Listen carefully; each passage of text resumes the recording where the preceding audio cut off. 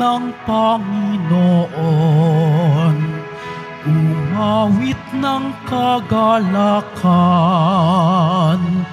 at tugtugin ng gitara at ang kaaya-ayang lira. Ipanin niyo ang trumpeta sa ating pagkabagabag. Sa Diyos tayo'y tumawag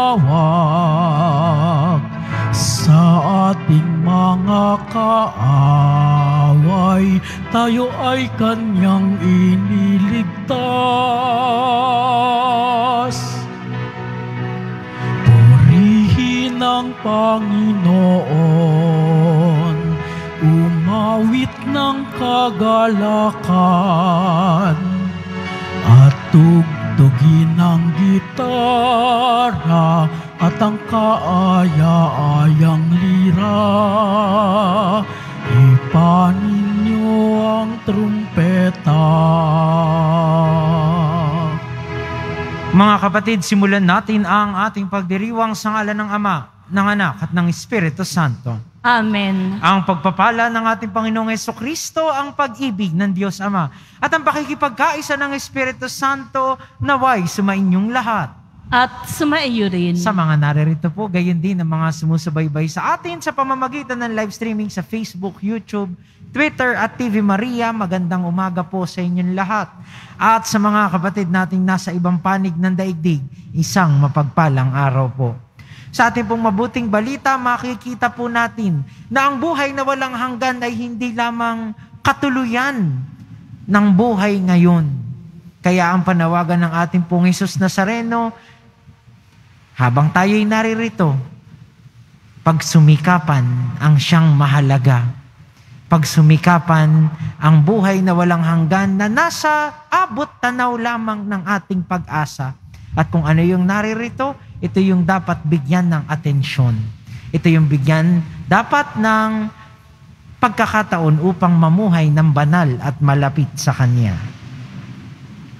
Mga kapatid, aminin natin ang ating mga kasalanan upang tayo'y maging marapat gumanap sa banal na pagdiriwang.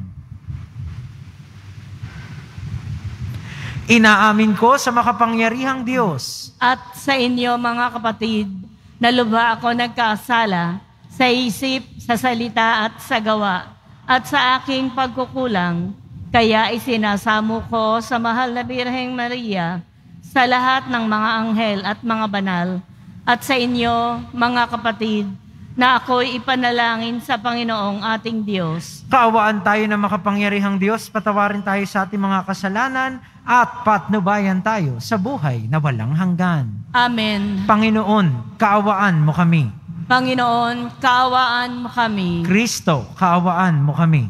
Kristo, kaawaan mo kami. Panginoon, kaawaan mo kami.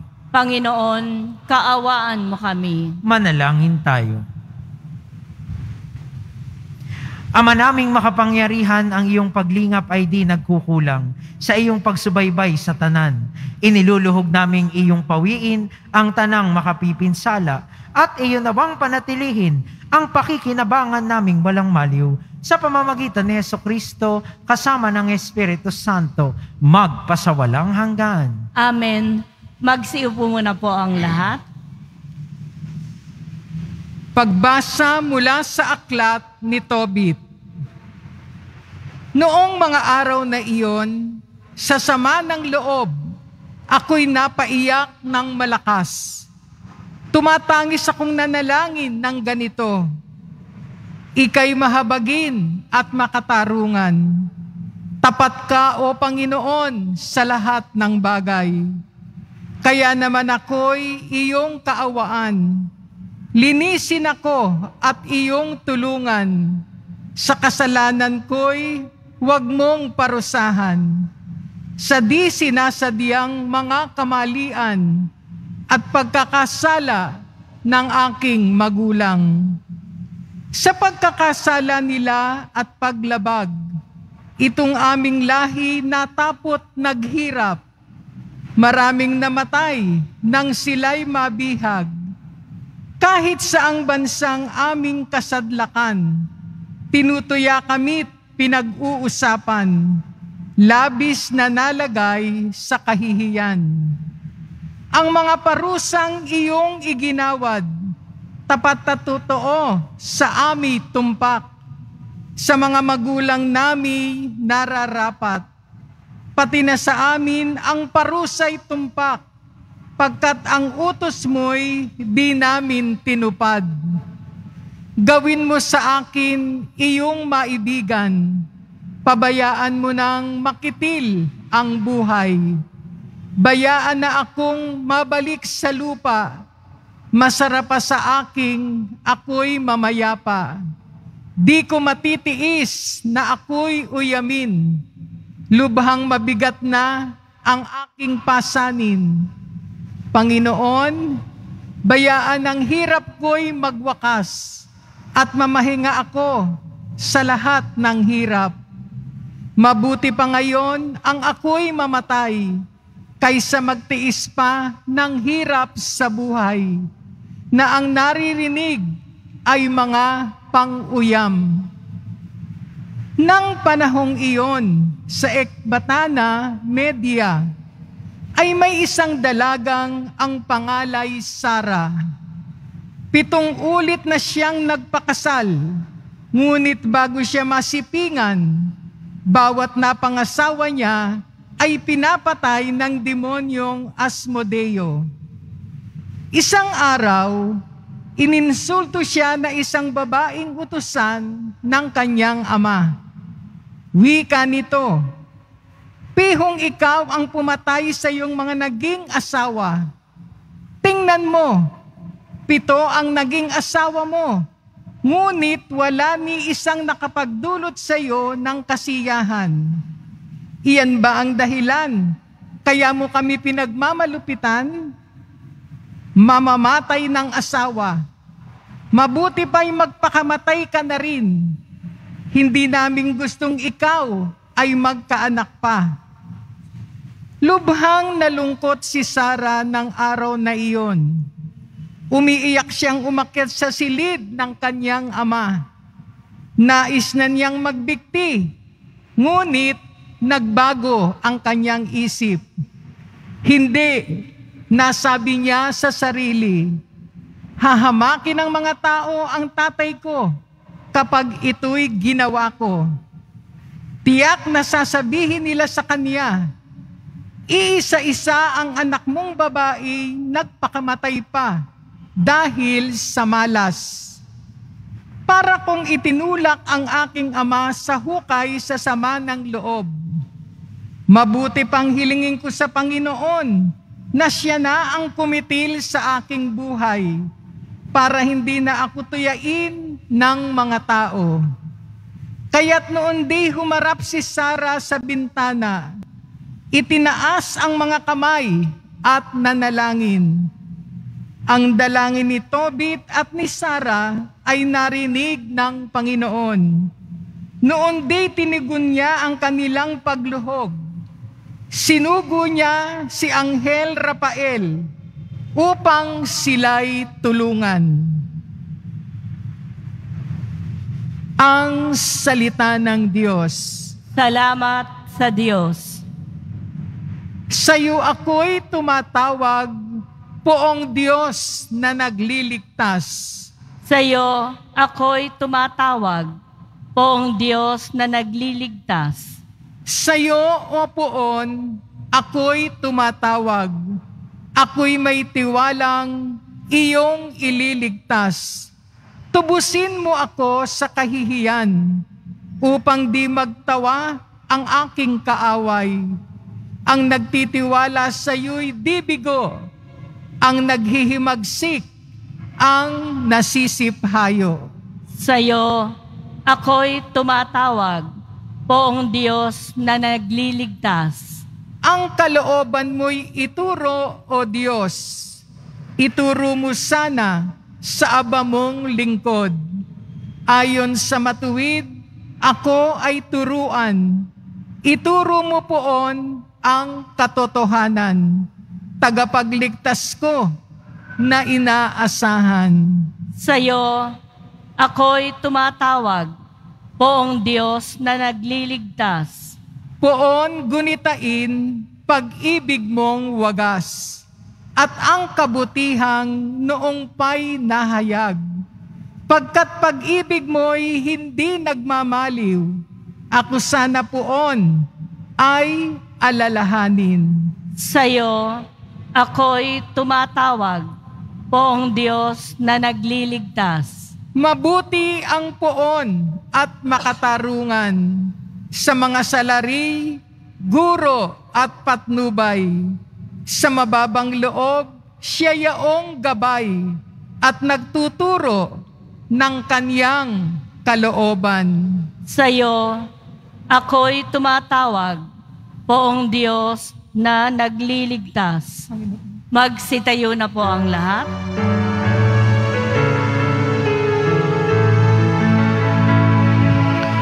Ah, Hallelujah.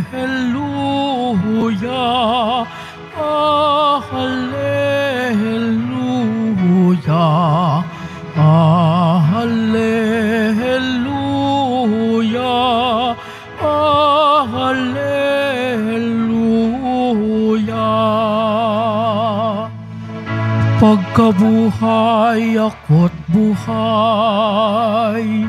ako'y inyong panaligan,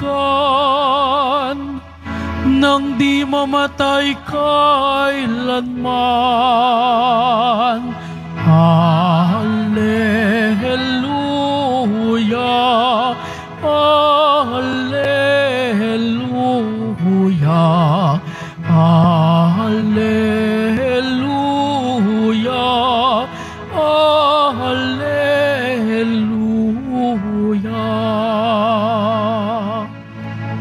Sumainyo ang Panginoon. At sumaiyo rin, Ang mabuting balita ng Panginoon ayon kay San Marcos. papuri sa iyo, Panginoon. Noong panahong iyon, may ilang Saduseyo na lumapit kay Jesus. Ang Saduseyo ay naninindigan na hindi muling bubuhayin ng mga patay. Guro, anila, naglagda po si Moises ng ganitong batas para sa amin. Kung mamatay ang isang lalaki at maiwang walang anak ang kanyang asawa, ang kapatid na lalaki da- dapat pakasal sa balo upang magkaanak sila para sa namatay. May pitong magkakapatid na lalaki. Nag-asawa ang panganay at namatay na walang anak. Napakasal sa balo ang pangalawa at namatay na wala ring anak. Gayon din ang nangyari sa pangatlo at sa mga sumunod pa. Isa-isang napangasawa ng babae ang pitong magkakapatid at sila'y namatay na walang anak. Sa kahuli-hulihay namatay rin ang babae. Ngayon, sino po sa pito ang kikilalanin niyang asawa sa muling pagkabuhay? Yamang napangasawa niya silang lahat. Sumagot si Jesus, Maling mali kayo. Alam niyo kung bakit? Hindi ninyo nababat, nababatid ang mga kasulatan ni ang kapangyarihan ng Diyos. Sapagkat sa muling pagkabuhay, ang mga tao'y hindi na mag-aasawa. Sila'y magiging tulad ng mga anghel sa langit. Tungkol naman sa muling pagkabuhay, hindi pa ba ninyo nababasa sa aklat ni Moises ang tungkol sa nagliliyab na mababang punong kahoy? Ganito ang nasusulat na sinabi ng Diyos kay Moises. Ako ang Diyos ni Abraham, ang Diyos ni Isaac, at ang Diyos ni Jacob. Ngunit ang Diyos ay hindi Diyos ng mga patay, kundi ng mga buhay. Maling mali kayo. Mga kapatid, ang mabuting balita ng Panginoon. Pinupuri ka namin, Panginoong Heso Kristo. Magsiupo muna po ang lahat. Muli po sa mga naririto, gayon din ang mga sumusubaybay sa atin sa pamamagitan ng live streaming. Magandang umaga po sa inyong lahat. At sa mga kapatid nating nasa ibang panig ng daigdig, isang mapagpalang araw po. Nanini- nananatili ba tayong tapat sa Diyos na nangangako ng buhay na walang hanggan? Sa pagtatalo po ng mga Saduseyo na hindi naniniwala sa muling pagkabuhay at sa buhay na walang hanggan. At ni Jesus, ang ating pong Jesus na Nazareno na pinangangaral, ang kaharian ng Diyos na nagsisimula sa buhay na ito, patungo at nagiging ganap sa buhay na walang hanggan. Marami po tayong mga aral na maaaring mapulot at mapagnilayan. No? Siguro ang unang-una na roon ay yung pagkakaiba ng langit sa lupa. No? Ng buhay dito at ng buhay na walang hanggan. No? Ang tugon po ng ating pong Isus Nazareno, bakit ninyo iniisip na ang langit ay katulad ng buhay dito?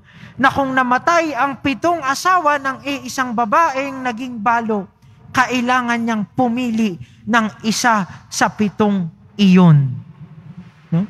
Ang sabi ng ating pong Isus Nazareno, hindi ganito ang pamamalakad pagdating sa buhay na walang hanggan. Hindi ito maikukumpara sa ating pamumuhay rito. Sa madaling sabi, iyon po ay kung ano man iyong karanasan ng langit na iyon, ay nasa tinatawag nating abot tanaw lamang ng ating pag-asa. Ibig sabihin nun, hindi man natin alam kung ano ang eksakto roon, alam nating may ganitong naghihintay para sa atin. Pero, bagamat hindi natin alam, meron tayong sulyap ng buhay na iyon. No? ang pangaral ng ating pong Isus Nazareno at ang kanyang ginagawa nung siya'y naririto ay hindi lamang patotoo ng kung sino siya. Ito rin ay patotoo ng darating na buhay na kanyang ipinangako at kinuha para sa atin. No? At ano yung mga tandang yun? No? Kaya kailangan nating unawain ito sa kabuuan ng buhay ng ating mahal na puon. Kaya yung buhay na ito ay yung mga may sakit na pagagaling, ang mga mahihirap at nangangailangan, napupuno, ang mga naghahanap ng hustisya at katarungan, kabutihan, dala ng kanilang pagsusumikap, ay natatanggap iyon. Samantalang ang makasarili, samantalang ang kumakapit sa kapangyarihan dito, Samantalang yaong hindi nakakikilala ng lubos na ang Diyos ay Diyos ng lahat, hindi iyon matatanggap. Kaya ibig sabihin po, at maikli lang ang mensahe nito, pagtuunan natin yung buhay natin dito bilang paghahanda sa buhay na walang hanggan. No? Kailangan po nating iwasan yung una, yung nagbabaliwala. No? Para bang sinasagad lahat ng nandito dahil alam niyang na mamamatay din siya. Kuha lahat ng pera, patayo ng pinakamalaking bahay, bili ng mga mahal na kotse. Saan mo dadalhin yan pag lumipas ang panahon? Ano ang mangyayari sa lahat ng iyan. No? Lalong-lalo na kapag ang kapalit nito ay yung napag nasisiraan natin yung kapwa natin, nadadaya natin. No? Kailangan tignan natin yung ating buhay bilang isang paghahanda. At ano ang sukatan? Ano ang investment natin? Anong taya natin dyan? Walang iba kundi yung ating pagtulad, pagsunod sa ating mahal na puong. Hmm? At sana iwasan din natin yung kaugalian na, ay, mamamatay din lang tayo. Bahala na kung ano mang mangyari sa atin. May langit, may impyerno naman, bahala na kung saan tayo dadalin. Nakakalimutan po natin mga kapatid na ang buhay natin dito ay biyaya at biyaya pa rin. Hindi dapat binabaliwala Kaya mahalaga pa rin, magbayad ka ng kuryente sa tamang panahon, magbayad ka ng tubig sa tamang panahon, magtrabaho ka ng maayos, huwag mong sisiraan ng kapwa mo. Gawin mo ang siyang nararapat bilang isang tao. Kasi yung iba sa atin, iniisip nila, pag mahirap ka na dito, automatic na yun. Pag wala kang pera dito, automatic na yun. Pag pinahihirapan ka dito, automatic na yun. Importante, magdasal ka lang. Magsilbi ka sa simbahan. Pero nakakalimutan mo namang gumawa ng mabuti. No? Mahirap ka nga. Mandurugas ka naman. No? Kapwa mo mahirap, dinudugasan mo. Anong makukuha mo? Hindi ka naiiba sa mga taong kumakapit sa kayamanan. Nagsisilbi ka nga sa simbahan. Pag naman nandito ka, kasiraan ng kapwa mo nagsisilbi, kapwa mo deboto, ang nagiging usapan. Anong pinagkaiba mo sa hindi nagsisimba? Magandang pagkakataon po sana ito na tignan natin ang ating mga sarili. Tignan natin kung ako man ay magkaroon ng pagkakataon na humarap sa Diyos ngayong araw na ito. May maipagmamalaki ba ako at ihaharap sa Kanya nang siya ay tanggapin ako sa inaasahan kong buhay na walang hanggan. Ito po sana yung ipagdasal natin. Na ang ating pananampalataya at ang ating buhay ay paghahanda. Pero ang paghahandang iyon ay ayon sa buhay, sa pagmamahal, sa kabutihan ng ating Diyos. Nang sa gayon ay sa bawat araw ng ating pamumuhay, sa paglipas ng panahon, pinagsusumikapan natin ang siyang pinakamahalaga. Inuunawa natin ang siyang pinakamahalaga. Mahal na pong Jesus Nazareno, maawa ka sa amin. Magsitayo na po ang lahat.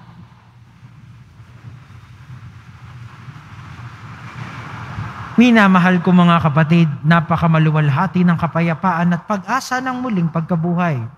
Malaya ang ating mga puso mula sa di makatuwirang pag-aalinlangan at pagdududa sapagkat naniniwala tayo sa pangako ng iisang nabuhay na mag-uli sa walang hanggang kaluwalhatian. Manalangin tayo, Diyos ng mga buhay, pakinggan mo kami. Diyos ng mga buhay, pakinggan mo kami. ang simbahan naway patuloy na magpahayag ng mabuting balita ng muling pagkabuhay at ng buhay na darating, manalangin tayo. Diyos ng mga buhay, pakinggan mo kami. Sa ating pang-araw-araw na buhay, tayo naway makapaghatid ng liwanag ng pag-asa sa mga nabubuhay sa kadiliman at kawalan ng pag-asa. Manalangin tayo. Diyos ng mga buhay, pakinggan mo kami. Ang mga Kristiyano saan man naway maging mga taong lehagis, legalismo at mga panlabas na tumutupad sa batas, kundi maging mga taong mayroong pusong ginagawa ang mga nararapat nilang gawin bilang mga anak ng Diyos. Manalangin tayo. Diyos ng mga buhay, pakinggan mo kami. ang mga may sakit, naway matagpuan ang mapagpagaling na presensya ni Kristo na kanilang buhay, manalangin tayo. Diyos ng mga buhay, pakinggan mo kami. Sa ating panalangin para sa mga yumao at para sa mga nagluluksa, para sa kanilang paglisan, naway magdulot sa kanila ng pag-asa at kasiyahan sa kanilang paghihinagpis ang muling pagkabuhay ni Kristo. Manalangin tayo. Diyos ng mga buhay, pakinggan mo kami. Sa katahimikan ng ating puso't diwa ay alay natin sa Panginoon ang ating mga panalangin, gayon din ang mga panalangin ng mga taong mahalaga sa atin. Sama po natin sa ating mga dasal, ang mga frontliners, health workers, at lahat na nagsisilbi sa ating bayan na sa kanilang pagiging tapat sa kanilang paglilingkod ay pinaghahandaan din ang pagdating ng buhay na walang hanggan at ng kaharian ng Diyos.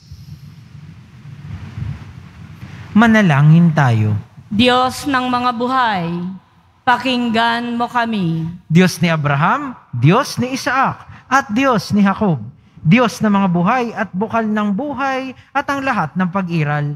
Pakinggan mo ang aming mga panalangin na itinataas namin sa iyo sa pamamagitan ni Kristong aming Panginoon. Amen. Magsiupo muna po ang lahat.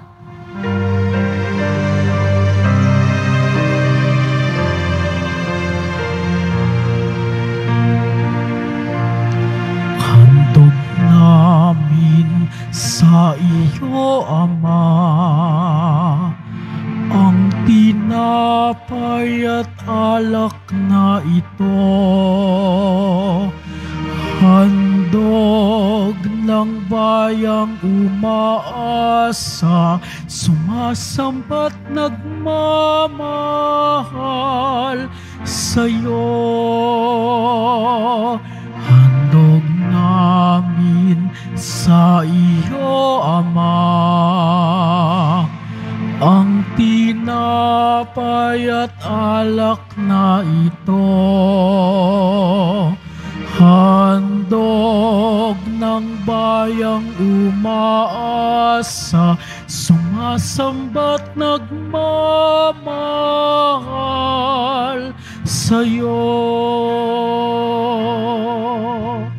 Magsitayo na po ang lahat. Manalangin kayo mga kapatid upang ang paghahain natin ay kalugdan ng Diyos amang makapangyarihan. Tanggapin nawa ng Panginoon itong paghahain sa iyong mga kamay, sa kapurihan niya at karangalan, sa ating kapakinabangan, at sa buong sambayanan niyang banal. Ama naming lumikha, sa iyong katapatan kami nagtitiwala. Ngayong ang mga alay ay aming inihahanda at inihahain dito sa banal mong dambana.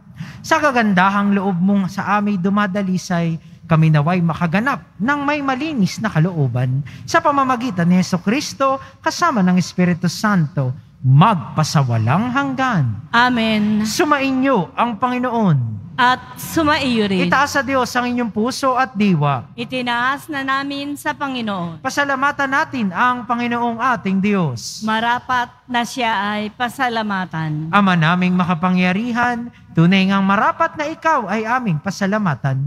Sa iyong paglingap at kagandahang loob, ang tao'y nilikha mo at pinangasiwa sa sansinukob. Sa hangad mong siya'y iwastong lubos, siya'y pinagdusa mo sa kanyang pagtalikod. Sa iyong paghiliw iyong ipinahintulot na makabalik siya sa pamamagitan ni Kristo Jesus. Kaya kaisa ng mga anghel na nagsisiawit ng papuri sa iyo, nang walang humpay sa kalangitan, kami nagbubunyi sa iyong kadakilaan. Santo, Santo, Santo, Panginoong Diyos ng mga hukbo, napupuno ang langit at lupa ng kadakilaan mo, o sana sa kaitaasan. Pinagpala ang naparirito sa ngalan ng Panginoon, o sana sa kaitaasan. Magsiluhod po ang lahat. Ama naming banal, ikaw ang bukal ng tanang kabanalan. Kaya't sa pamamagitan ng iyong Espiritu, gawin mong banal ang kaloob na ito upang para sa amin maging katawan at dugo ng aming Panginoong Heso Kristo. Bago niya pinagtiis ang kusang loob na maging handog, hinawakan niyang tinapay.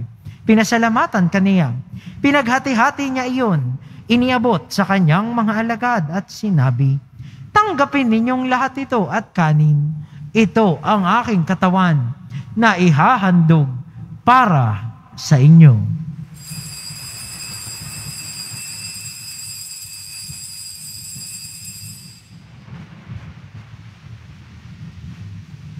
Gayun din naman, nung matapos ang hapunan, hinawakan niya ang kalis. Muli kanyang pinasalamatan, iniabot niya ang kalis sa kanyang mga alagad at sinabi, Tanggapin ninyong lahat ito at inumin. Ito ang kalis ng aking dugo, ng bago at walang hanggang tipan. Ang aking dugo na ibubuhos para sa inyo at para sa lahat sa ikapagpapatawad ng mga kasalanan. Gawin ninyo ito sa pag-alala sa akin.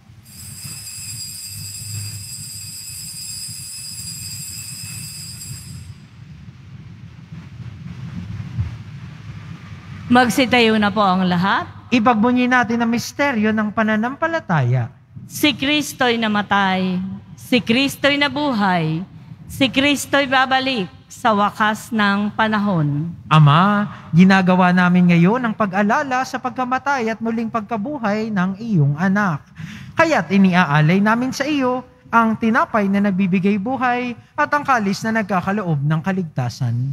Kami nagpapasalamat dahil kami iyong minarapat na tumayo sa harap mo para maglingkod sa iyo. Isinasamo namin kaming magsasalo-salo sa katawan at dugo ni Kristo ay mabuklod sa pagkakaisa sa pamamagitan ng Espiritu Santo. Ama, lingapin mo ang iyong simbahang laganap sa buong daigdig. Puspusin mo kami sa pag-ibig.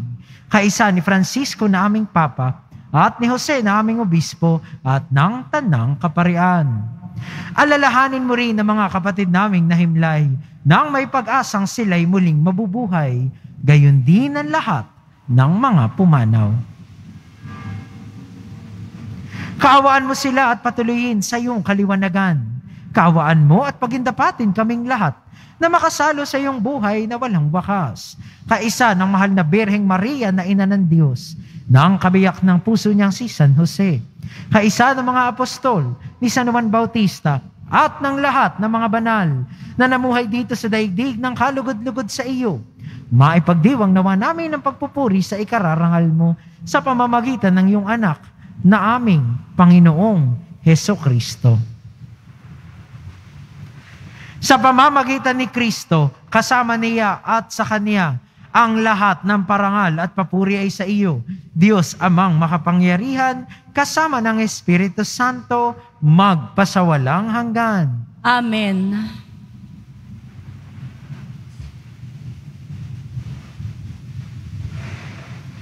Sa tagubilin ng mga nakagagaling na utos at turo ni Jesus na Panginoon natin at Diyos, pahayag natin ng lakas loob. Ama namin, Sumasalangit ka, sambahin ang ngalan mo, mapasa amin ang kaharian mo, sundin ang loob mo dito sa lupa para ng sa langit. Bigyan mo kami ngayon ang aming kakanin sa araw-araw at patawarin mo kami sa aming mga sala para ng pagpapatawad namin sa nagkakasala sa amin. At huwag mo kaming ipahintulot sa tukso at iadya mo kami sa lahat ng masama. Hinihiling namin kami iadya sa lahat ng masama, pagkalooban ng kapayapaan araw-araw, iligtas sa kasalanan at ilayo sa lahat ng kapahamakan, samantalang aming pinananabikan ang dakilang araw ng pagpapahayag ng tagapagligtas naming si Heso Kristo. sapagkat iyo ang kaharian at ang kapangyarihan at ang kapurihan magpakailanman. Amen. Panginoong Heso Kristo, sinabi mo sa iyong mga apostol, kapayapaan ang iniiwan ko sa inyo. Ang aking kapayapaan ang ibinibigay ko sa inyo. Tunghayan mo ang aming pananampalataya at huwag ang aming pagkakasala. Pagkalooban mo kami ng kapayapaan at pagkakaisa ayon sa iyong kalooban kasama ng Espiritu Santo magpasawalang hanggan. Amen. Ang kapayapaan ng Panginoon ay laging sumainyo. At sumaiyo rin. magbigayan po tayo ng kapayapaan sa isa't isa.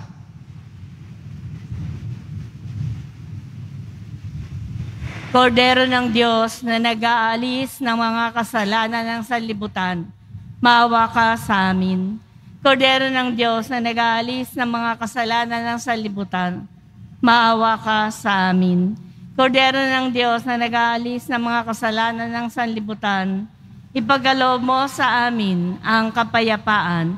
Magsiluhod po ang lahat.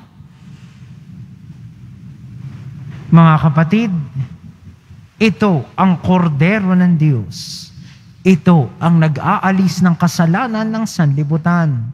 Mapalad ang mga inaanyayahan sa kanyang piging. Panginoon, hindi ako karapat dapat na magpatuloy sa iyo.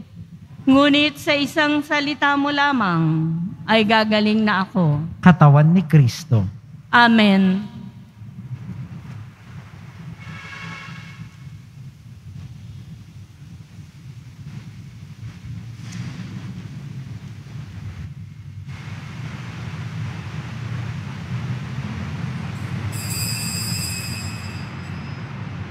Para po sa lahat ng tatanggap ng banal na komunyon, sasagot po tayo ng amen. Pagkasabi po ng pari o ng lay ministers ng katawan ni Kristo. At isubo po agad sa bibig bago umalis sa harapan ng pari o lay ministers. Sumunod po tayo at maraming salamat po.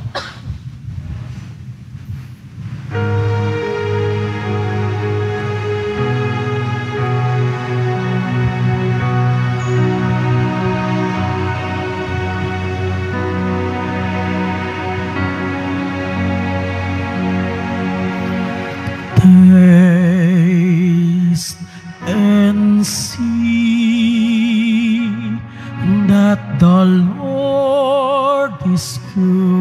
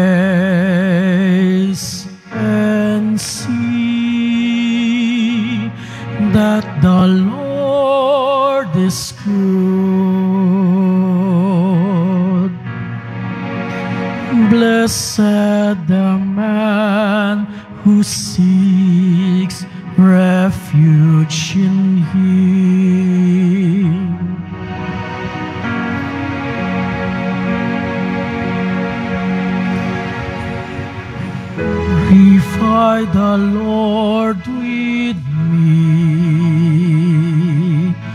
Together let exalt his name. I sought the Lord and he answered me. From all my terrors he set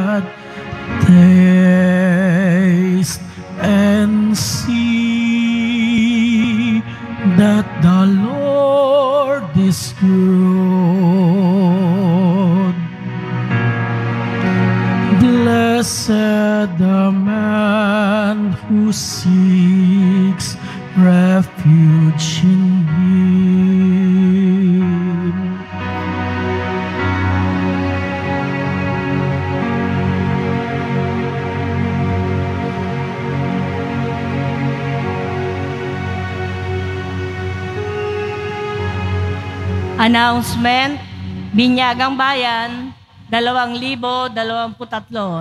Ito po ay itong taon ng kasalukuyan. Sa darating po na June 17, 2023, araw po ng Sabado, magkakaroon po tayo ng binyagang bayan, handog sa kapistahan ng kapanganakan ni San Juan Bautista. Ang mga edad po na bibinyagan ay 0 hanggang 7 taong gulang. At sa mga nagnanais, maaari po kayong makipag-ugnayan sa records office ng parokya na matatagpuan po sa ground floor, Cardinal Sin Building, mula ikawalo ng umaga hanggang ikalima ng hapon. Maaaring hanapin si na Miss Shirley o si Miss Jocelyn ng record staff ng parokya para po sa mga detalye. Maraming salamat po. Mga paalala po sa mga nagsisimba, pinaaalalahanan po ang lahat na huwag maging kampante sa banta po ng COVID-19. Bagkos, dapat nating ipagpatuloy ang tamang pagsunod sa minimum public health standards, ang tamang pagsusuot po ng face mask. Pagkatapos po ng misa, wiwisikan po ang lahat ng banal na tubig. Pinakikiusapan po ang lahat na manatili lamang muna po sa inyong mga lugar. At tanging sa Quezon Boulevard o sa Plaza San Man lamang ang labasan ng lahat. Sumunod po tayo at maraming salamat po sa inyong pagdalaw at pagsisimba sa Basilica Menor ng Itim na Nazareno. Magsitayo na po ang lahat. Manalangin tayo. Ama naming mapagmahal, pagharian mo sa iyong espiritu kaming pinapakinabang mo sa katawan at dugo ni Kristo upang di lamang sa pagsasalita, kundi rin naman sa pagsasagawa. Ikaw ay aming maipagdangal at maging marapat kaming makapasok sa kaharian mo sa kalangitan sa pamamagitan ni Yeso Kristo kasama ng Espiritu Santo magpasawalang hanggan. Amen. Sumainyo ang Panginoon. At sumaiyo rin. Magsiyo ko para sa pagbabasbas. Mahal na po ang Jesus Nazareno, inihayag mo sa pamamagitan ng krus ang walang maliw na pag-ibig ng Diyos sa sangkatauhan. Pakinggan mo ang kahilingan ng iyong angkan na nagsusumamo sa iyo.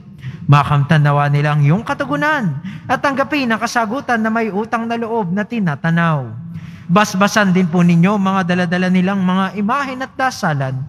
Sa pamamagitan ng bendisyong ito, naway maalaala nila ang mga pangako nila noon sa binyag na ikaw ang kanilang iibigin at paglilingkuran bilang Panginoon magpasawalang hanggan. Amen. At pagpalain nawa kayo ng ating makapangyarihan at mapagmahal na Diyos, Ama, Anak, at Espiritu Santo.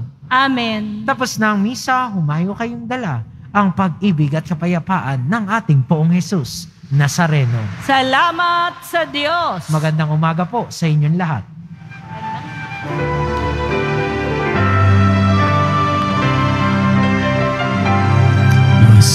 Padre Jesús Nazareno, sinasamba ka namin. Pinipintuho ka namin. Aral mo ang aming buhay at kaligtasan. Nuestro Padre Jesus Nazareno, iligtas mo kami sa kasalanan. Ang krus mong kinamatayan ay sagisag ng aming kaligtasan.